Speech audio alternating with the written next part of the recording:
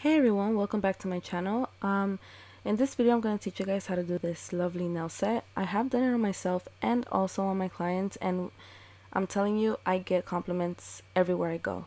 So let's get started. Okay, so here I already have the nails prepped. I have glued on some clear stiletto tips. I am just trimming the tip of the nail um, to the length I would want I'm using a regular nail clipper but you could also use the nail tip cutters. Um, stiletto shape is very easy to make into coffin so that's why I'm using those tips. Okay so here I already filed the sides um, making it into a nice coffin shape. I am filing the nail tip to the natural nail just blending it in usually do this with other um, nail tips like a natural or like um, a white depending on the nails that you're doing. Um, I know some nail techs don't like to do this when they're doing clear nail tips just because the design that they're doing um, you know filing the nail tip might scratch up the nail and mess up the design. But since I'm not really doing that much clear design um, I am filing and blending in that artificial nail to the natural nail.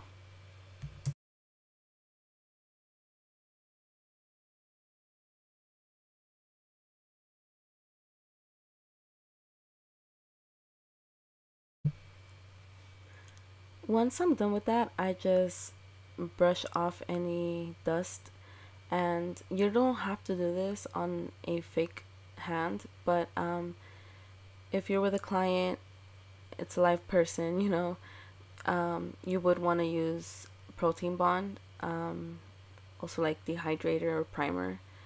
Um, so right here I'm using protein bond by Young Nails.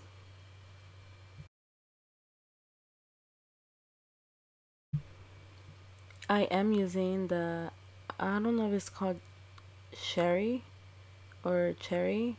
I usually just say sherry and um, I'm also using I believe it was 18 sides. Kolinsky brush.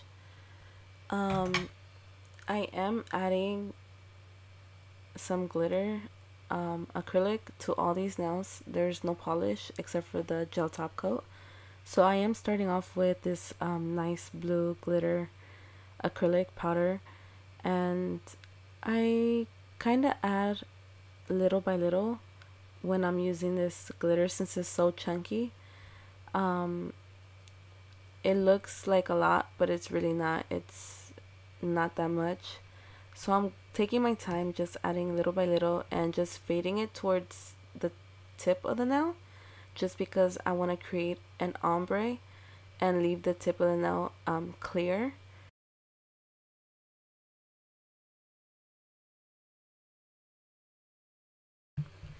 Now here I'm just adding a little bit more just to make it look like a little fade like the nice ombre look. I don't want to make it look like a blunt line to where the glitter stops. Um, sometimes I do apply little pieces of glitter in certain areas that look too empty or certain areas that look like it has a bunch. I would take some away. Um, but yeah, so just play with it and you'll get it right. Okay, so for the index now, I am using this blue color. I am using the color on the cuticle area. I am applying the bead more wet than I would usually apply. Um, the only reason is because the next color I want to add to the nail, I want it to blend in a little bit more without me having to actually move it around a lot. Um, I do want to be able to move the acrylic around the nail to where I could control how it looks and not make it look too wet and muddy um, to where the marble effect is nowhere to be found. So what I am doing is I'm applying a little bit of acrylic little by little blending it down I do not want like a clear look so I am trying to cover the full nail and make it into a marble effect so for that I am using um, beads of acrylic more wet than I would usually use them. Um, now to define the marble, I do go in with a darker blue color and just make the marble lines. Now um, I do like glitter a lot so I do add a lot of it. But if there are any empty spaces I go ahead and I cover it with any blue or more um, acrylic that has glitter. I am looking at the sides of the nail just so that um, I know I didn't miss any spot if I do see any spots that I miss I would go ahead and just cover those spots as well right there I see on the tip of the nail and in the middle of the nail it's kind of empty so I am adding a little bit more color and I am playing around with it a little bit to where it actually looks still like a marble effect and that's how it looks. So for the middle finger I'm actually getting the same blue that I used on the other nail. I am applying it towards the cuticle area. With this color I'm going to try my best to blend it down and not make it look blunt in the middle of the nail. The reason why is because I'm going for an ombre look. Now for ombre, many people have um, told me that they can't get the blend well. Well, the reason why is sometimes it looks very like a blunt ombre just because you don't blend the bottom color towards the tip um, as much. You'll leave it too dark in the middle. So what I like to do is I like getting um, either three or four beads. I don't usually um, cover the full sides of the nail just because since it's an ombre I could actually use the other color to blend up um, but I do make sure that it's very faded and blended on the tip instead of it being um, thick on the tip and then I go ahead with my second color of choice and I just blend it up um, I would be blending as much as I can but then I don't want to blend too much to where it goes back up to the cuticle area.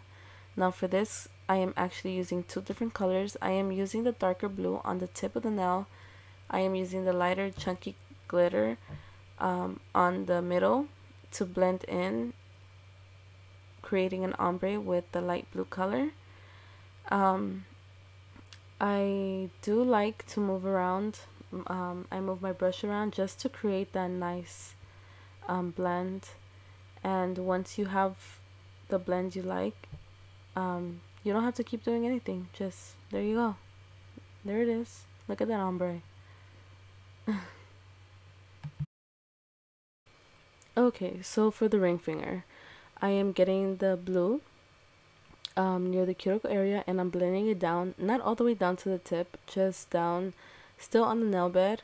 And um, I'm also adding the dark blue um, chunky glitter and just fading it down kind of creating like a marble look but not fully. Um, I'm also wanting to do that ombre look. So on the tip of the nail I'm also adding that blue. I'm getting the lighter um, chunky glitter. I'm adding some to that and blending it as well to make it look into like a ombre like a sideways ombre. And then in the middle I also want it to look like a marble but I want it to be sheer. I don't want it to be too dark like the pointer finger.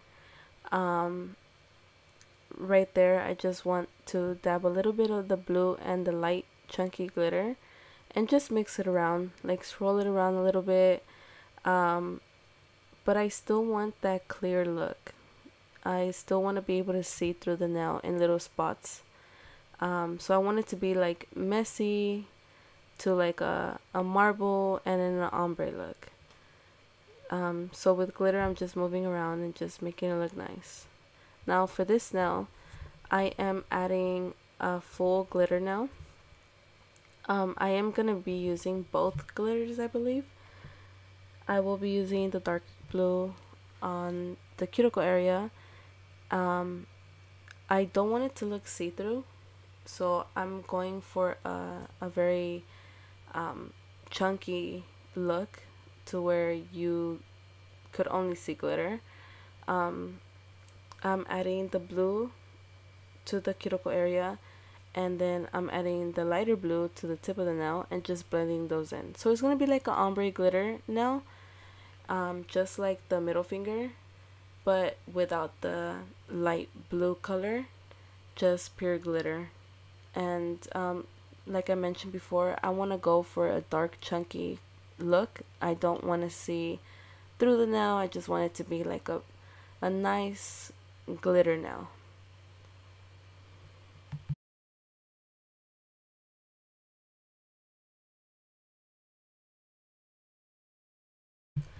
Here I'm just making sure I didn't leave any empty spaces, um, any see-through areas, so I'm just covering the nail more with glitter.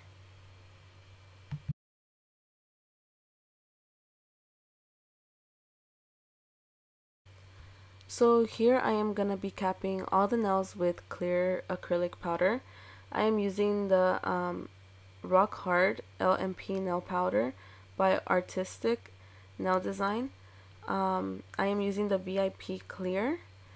I am adding one bead of acrylic to the tip of the nail just because since it's a clear look on the tip of the nail I want it to look very nice I don't want to have it um, divided if the acrylic does dry halfway there. Um, once I'm done capping the tip of the nail I'm gonna go ahead and do the cuticle area. Um, near the cuticle area I'm gonna just apply a bead and then let it um, just flow right in. Just let it um, flow down to the tip of the nail. Work your magic side to side middle and if you need more just apply a little bit more now remember holding the hand at an angle would help you gravity would just pull that acrylic down to where it needs to go and it'll be less filing. As soon as you get that technique um, mastered, you're gonna no longer need to file as much as you were filing before.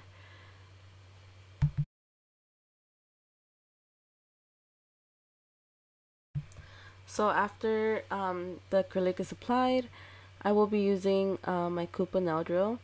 Um, I'm using this um, nail bit. I will be leaving the links below and if not the links I will be leaving um, maybe the Instagram of where you could find the products I'm using.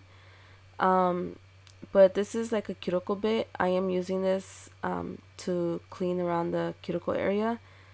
I do like to blend the nail um, nicely like around the cuticle area. I don't like it to look bumpy or anything.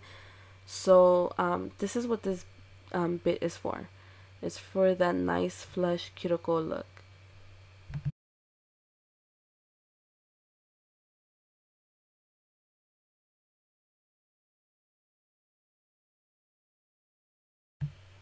Now once you've um, filed the cuticle area and you see that the shape is nice around the cuticle um, I do go in with a safety bit. The safety bit um, I like it. It's um, it's really good. You have no chance of cutting your client with this. Like I've never cut a client with any bit before um, especially not this one since it's a safety bit so it doesn't hurt at all. Um, now if you do put the bit on the client um, as if you were filing it um, or filing a nail it would hurt. But um, near the cuticle area there's no problem. Um, like I said I would be leaving the links below or the info of where to find all these products. Um, now here I'm using the no wipe Cheri top coat. I believe I got this at Skyline Beauty um, I will be leaving their website down below as well. I really love this. It's one of my favorite top coats to be honest. The shine lasts for a while.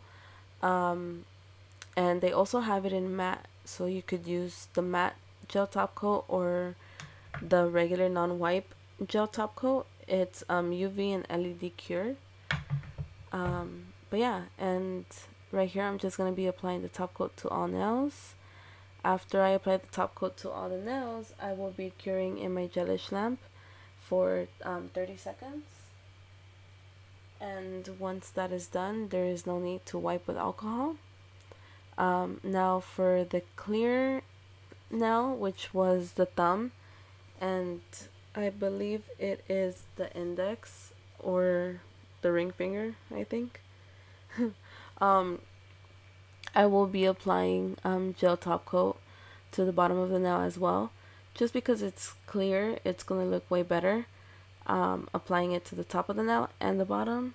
It gives it a better, nice, um, like a way better look. It's just, it's more clear. It looks more like glass. So like you'll see the difference. Um, right there, I'm applying the um, the gel to the tip of the nail. After that, I'm just gonna go ahead and cure.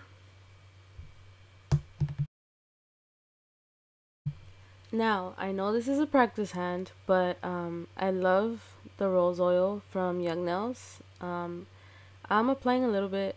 Um, you would be doing this with um, your client. Um, I know I'm crazy. This is like a fake hand. Um, but yeah, so this is a set. We are done.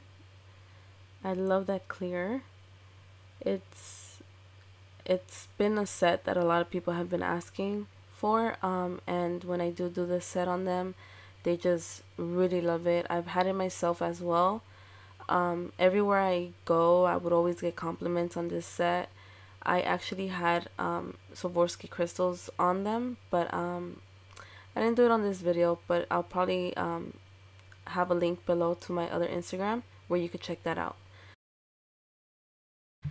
now, my personal nail page is Nails by Medinah. If you want to go ahead and follow me on um, my Twitter and my Instagram. I also do have the Dear Nicky Emm page on Twitter and Instagram as well. I don't use it as much just because I haven't been uploading, but hopefully soon I will be uploading at least three times a week. And um, you guys would be able to see all these nice nail sets that I've created over the past couple years. Um, but like I said, I am more active on my Nails by Medinah page if you want to go ahead and give that a follow. Um, you could also message me there. I will be posting more things on my Instagram. Thank you guys all for watching. Please like, comment, and subscribe. Let me know what you guys would want to see next. Also, hit me up on my social media. Message me there. Till next time. Bye.